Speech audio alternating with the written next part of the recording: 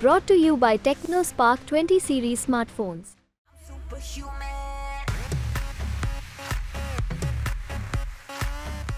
Sir आपने तो बहुत सारे चुनाव लड़े हैं और जीते भी हैं। This is the first time आप भारतीय जनता पार्टी के कैंडिडेट से अ, बतौर चुनाव लड़ रहे हैं गुना शिवपुरी से। किस तरह का रिएक्शन आपको मिल रहा है लोगों से? हेमंत ये इसका उत्तर मैं आपको कैसे दूँ? आप तो पल समझते हैं लोगों का पर ये पर ये प्रश्न तो मुझे आपसे पूछना चाहिए कि आपको कैसा लगा?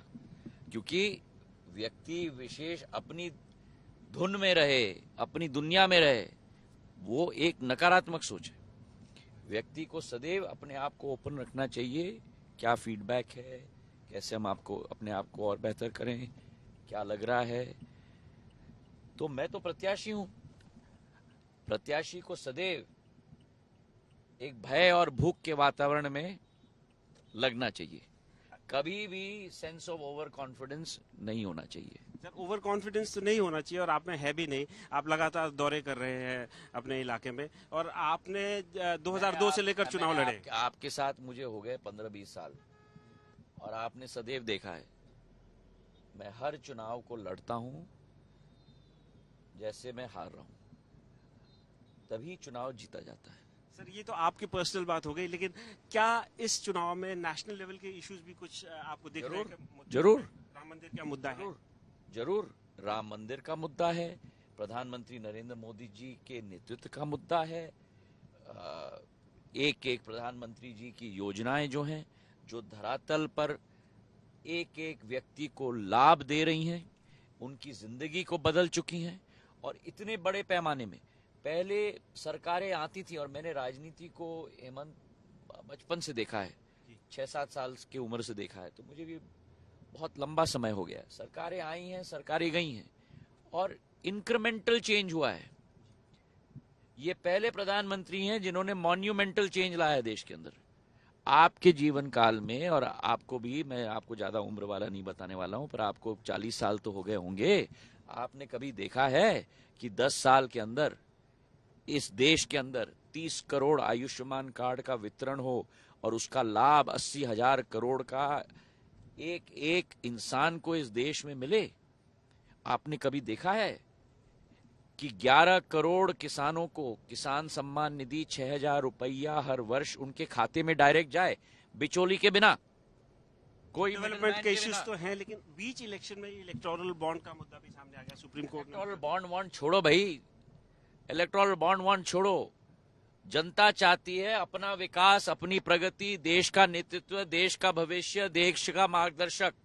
और वो उनके दिमाग में नहीं दिल में केवल एक व्यक्ति बसा है वो है प्रधानमंत्री नरेंद्र मोदी जी। अच्छा सर एक फाइनल सवाल। कम्युनिस्ट पार्टी ऑफ़ इंडिया ने अपने मैनिफेस्टो में लिखा है कि वो जो न्यूक्लियर बॉम्ब का डिसआर्मामेंट करेंगे खत्म कर देंगे उनको। और प्राइम मिनिस्टर मोदी ने उस पर रिएक्ट किया है। मैं आपको कहूँ कि जिन लोग जो लोग और जो दल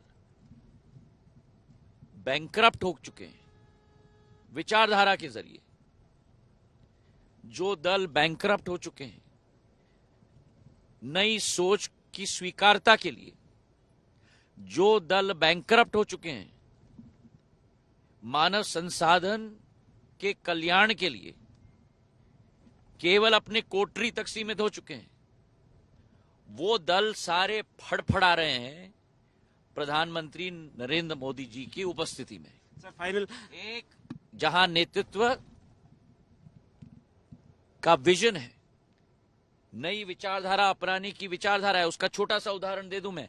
पिछले हफ़्ते जो गेमिंग का एक इंटरेक्शन प्रधानमंत्री जी का रहा युवा साथियों के साथ नए टेक्नोलॉजी को अपनाने की इंस्टेंट स्वीकारता जब मैं नागर विमानन मंत्री बना पहला वाक्य उन्होंने बोला कि ज्योतिरादित्य जी 2030 तक ड्रोन रूल्स को बदलो आप सिंप्लीफाई करो और 2030 तक भारत को drone capital of the world बनाने का है। जब उस समय में एक ड्रोन भी नहीं था देश के अंदर।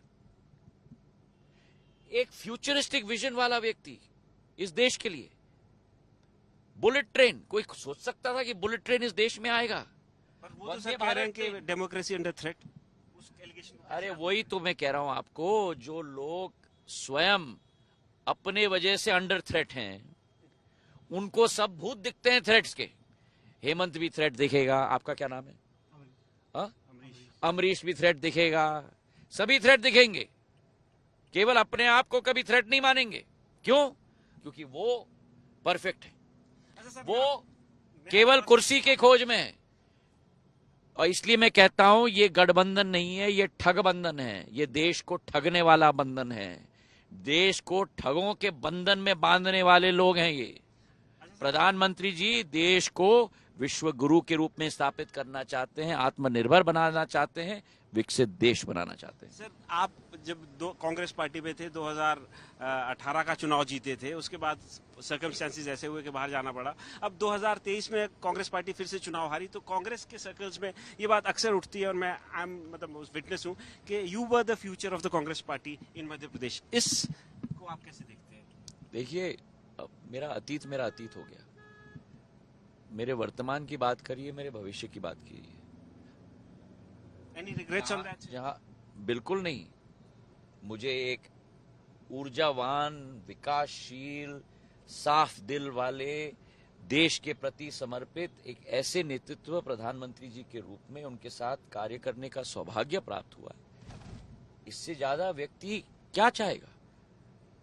और एक तरफ़ एक ऐसा दल जो बैंक हो चुका है, जिसे मानव संसाधन के लिए कोई सम्मान नहीं, कोई पहचान नहीं।